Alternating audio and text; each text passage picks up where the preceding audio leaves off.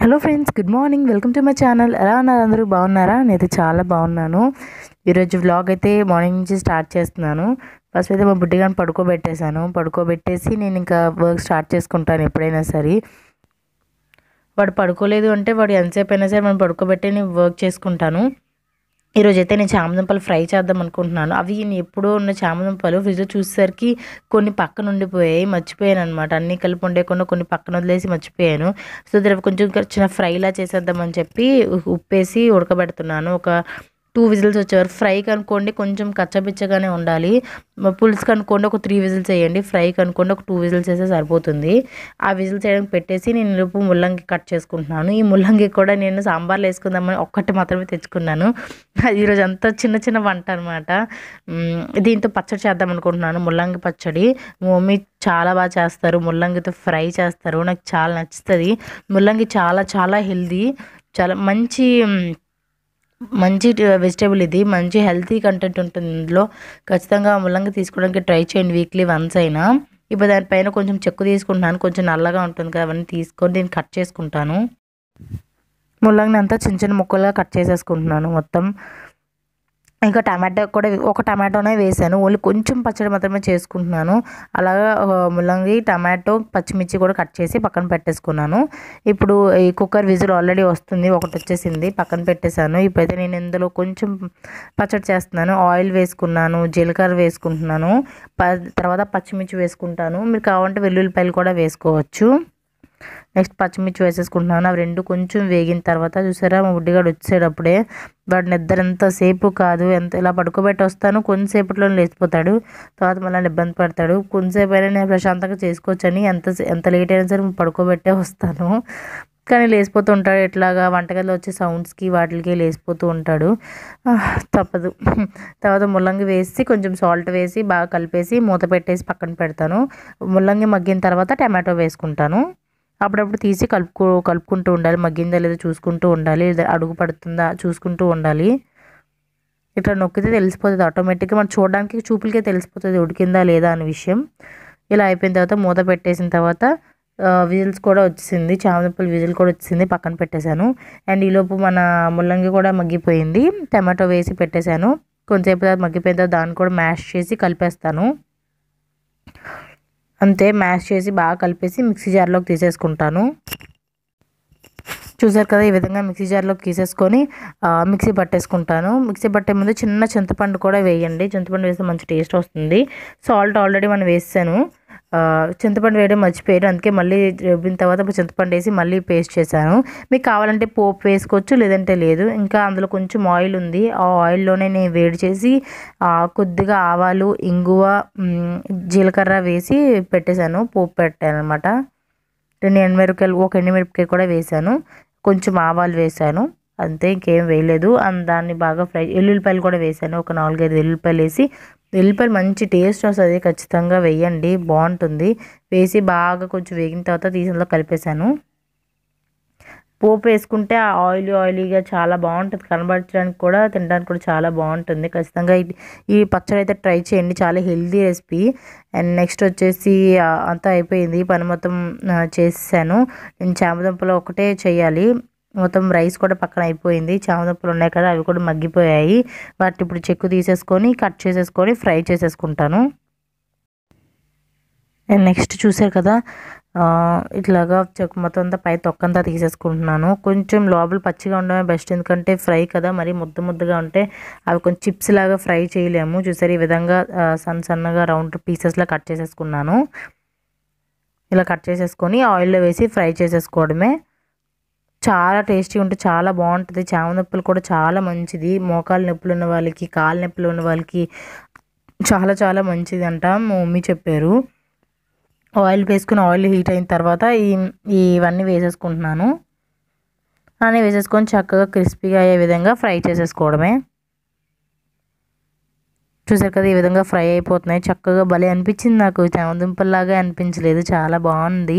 Fry చేసుకొని పక్కకు తీసేసుకొని కొంచెం సాల్ట్ కారము కలిపేస్తాను. అంతే. ఈ బంగ ఏమంటారు? చామదుంపల చిప్స్ అనేవి రెడీ అయిపోతాయి. కొంచెం ఫ్రై లాగా రసంతో భలే ఉంటాయి ఇవి. రసంతో అయినా పప్పుతో అయినా చాలా బాగుంటాయి. నేనైతే రసం ఉంది రసం పెట్టాను. రసం తెలుసు కాబట్టి చూపించలేదు. నేను ఎక్కువ బుడ్డిగాడి కోసం రసమే ఎక్కువ చేస్తూ ఉంటాను. ఎందుకంటే పిల్లలకి ఎక్కువ వేడివేడి చారుతోనే బాగా పెట్టాలంటారు. నెక్స్ట్ వచ్చేసి ఉప్పు కలిపేస్తున్నాను. ఉప్పు కారం కలిపేస్తున్నాను. అంతే. యా లంచ్ అయితే రెడీ అయిపోయింది. అక్కడ ఎంత లంచ్ ఎప్పుడైనా సరే నాకు ఒక అరగంటలో అయిపోతుంది. ఈరోజు లంచ్ అయితే చామదుంపలు ఆ పచ్చడి ఇంకా రసం ఇంకా అన్నం అనమాట లంచ్ రెడీ అయిపోయిన తర్వాత నాకు ఒక పెద్ద పని ఉంది అండ్ బుడ్డిగడ్ బర్త్డే ఉంది కదా అందరూ వస్తారు కదా. కిచెన్ కొంచెం గలీజ్గా ఉంటే బాగోదు అనిపించింది. అందుకే నేను మొత్తం పేపర్స్ అన్ని చేంజ్ చేసి క్లీన్ చేసి మళ్ళీ ఎక్కడొక్కడ నీట్గా సర్దుకుంటున్నాను. మనం ఏం చెప్పాం? ఎక్కడొక్కడ పెట్టేసుకుంటే కరెక్ట్గా అన్ని నీట్గానే ఉంటాయి. కానీ మనం ఎక్కడొక్కడ పెట్టాం కదా. కరెక్ట్గా వంట వంట చేస్తున్న కంగారులో. అది మాడిపోతుందేమో ఇది మాడిపోతుందేమో ఇది వేగిపోతుందేమో అని చెప్పేసి ఎక్కడ ఎక్కడొక్కడ పెట్టకుండా మనం పిచ్చి పిచ్చిగా పెట్టేస్తుంటాము. అలాగే చండాలం అయిపోతూ ఉంటుంది చచ్చతగా అయిపోతూ ఉంటుంది ఇప్పుడు. ఇప్పుడు షెల్ఫ్స్ అనేవి అందుకే ఎప్పుడు క్లీన్ చేసుకోవాలి కానీ పిల్లలతో అవ్వ కానీ ఎప్పుడు చేసుకోలేదు. అండ్ విజయ్ తను భోంచేసి పడుకున్నారు. ఆ టైంలో నేను ఇంకా వచ్చి సర్దుకుంటున్నాను. భోంచేసి వాళ్ళు పడుకోబెట్టేసి వాళ్ళు కూడా పడుకుని పోయారు. నేను సర్దుకుంటున్నాను.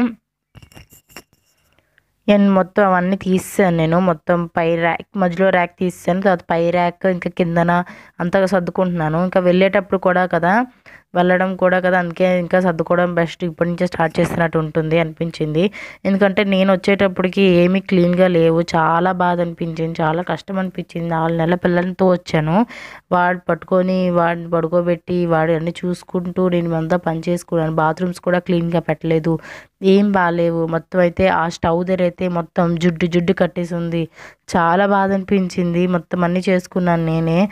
వచ్చిన తర్వాత బట్టలు ఉత్తుకోవడం కానీ ఇవన్నీ చాలా బాధ అనిపించింది. ప్లస్ నా నా వల్ల ఇంకొకరు బాధపడకూడదని అయితే నేను అనుకున్నాను.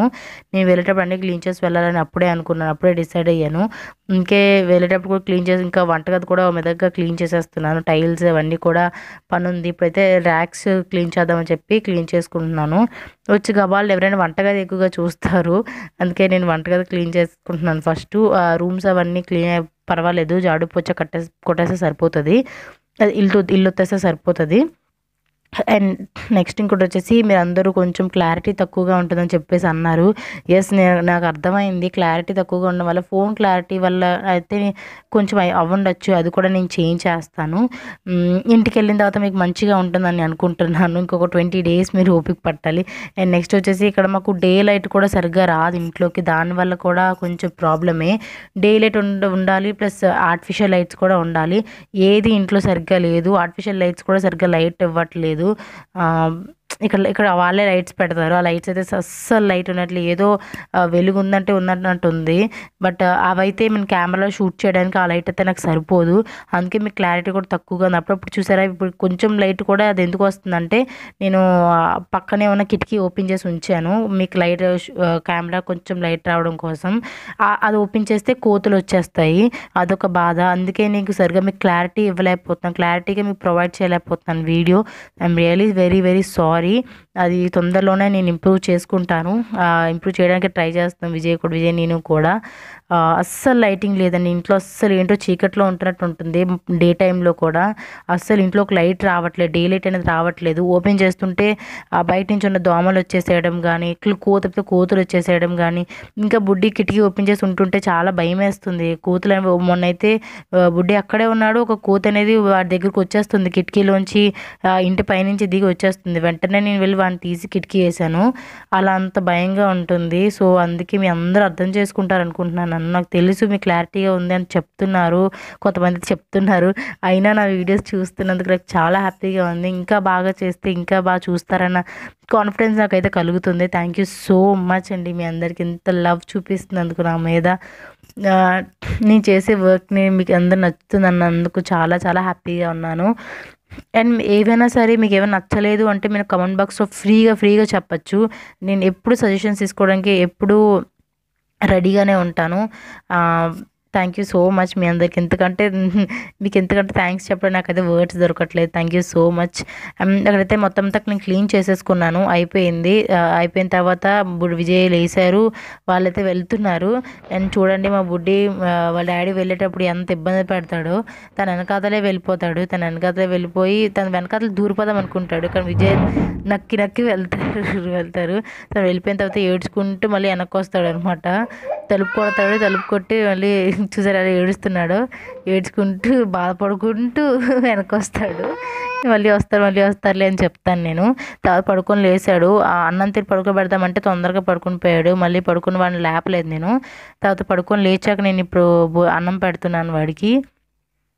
అండ్ ఎప్పుడు ఈ విండో చూసుకొనే ఉంటాడు. అందుకే నేను కూడా ఈ విండో పక్కనే కూర్చొని వాడు కూడా అన్నం పెడుతున్నాను. సో దట్ అమ్మ వాడు కూడా కొంచెం తింటాడు కదా అని చెప్పి చూసాక ఈ విధంగా పై పైన ఎక్కడక్కడ పెట్టేశాను. కాకపోతే పేపర్స్ అనేవి నీట్గా మార్చాను. కొంచెం ఆ, ధూళి ఉంటే అది తుడిచాను. అంతే.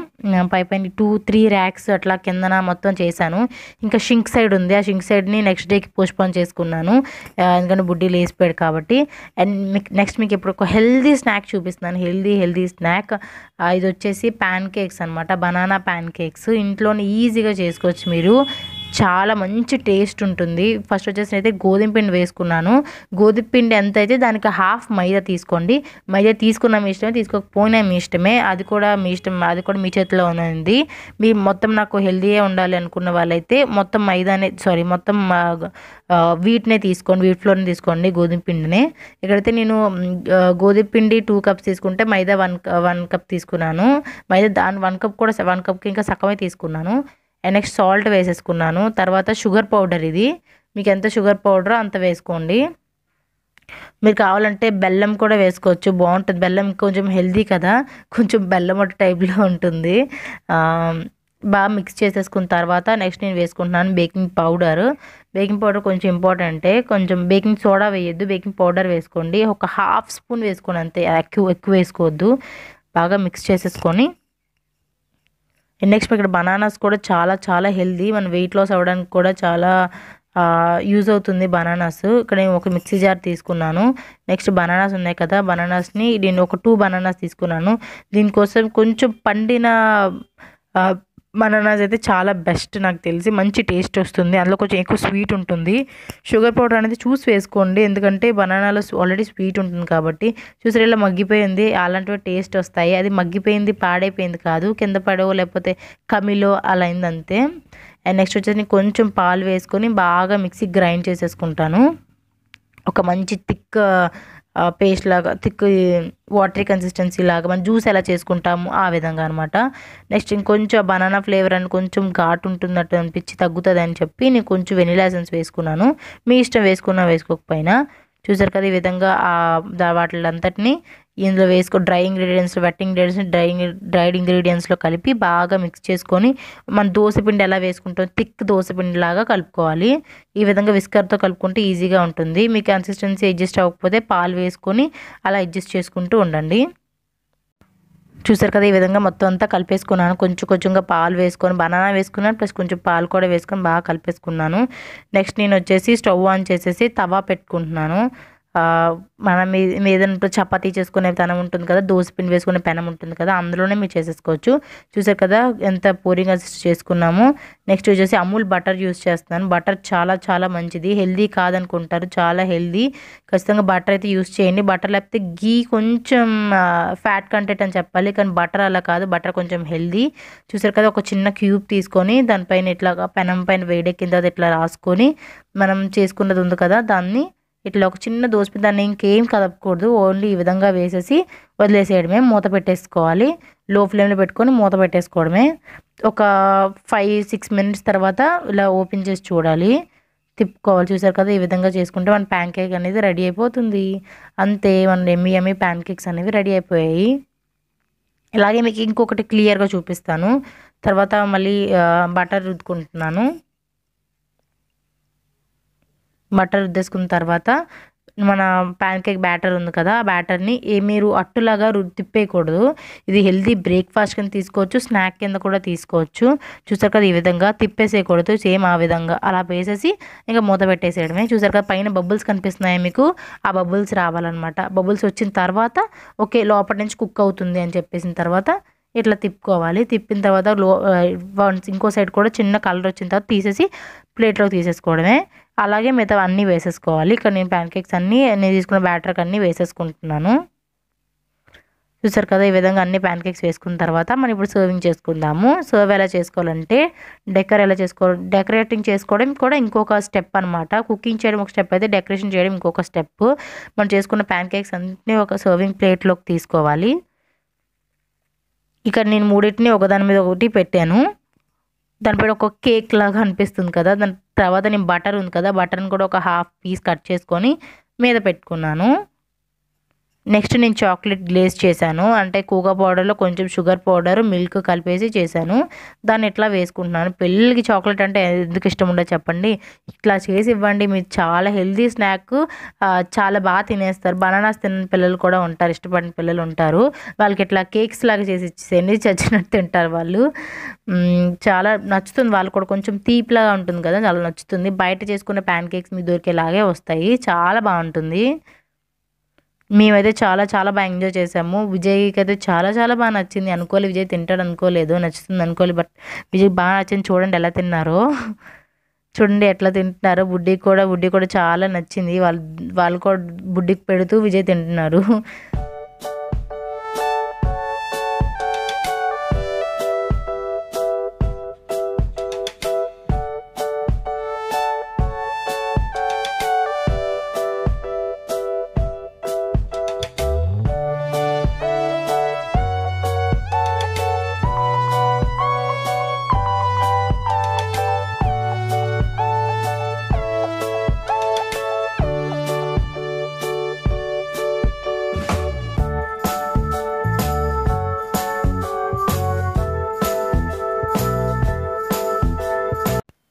విజయ్ తనలో ఆడుకుంటారు తను లాలి వెళ్ళిపోతుంటే వెళ్ళనివ్వడని చెప్పేసి ఇంక లాలీపాప్ ఇచ్చి ఇచ్చి ఇవ్వకుండా ఇచ్చి ఇవ్వకుండా ఏడిపిస్తున్నాడు. విజయ్ ఆడేమో ఏడుస్తున్నాడు. లాలీపాప్ తీయగా ఉంటుంది కదా అందుకే. అండ్ నెక్స్ట్ తను వెళ్ళి వచ్చేలోపు మళ్ళీ నేను ఇంకా రోటీ ఇంకా టమాటో టమాటోతో తడకా చేశాను అనమాట ఆల్ రైట్ డిన్నర్ కూడా. చామదుంపలు అవి సరిపరిపోదు కదా మళ్ళీ దీన్ని తడకా చేశాను. ఐ హోప్ అది మీ అందరికీ ఈరోజు బ్లాగ్ నచ్చింది అనుకుంటున్నాను నచ్చితే లైక్ చేయండి షేర్ చేయండి కమెంట్ చేయండి. ఫస్ట్ టైం చూస్తుంటే సబ్స్క్రైబ్ చేసుకోండి. బాయ్.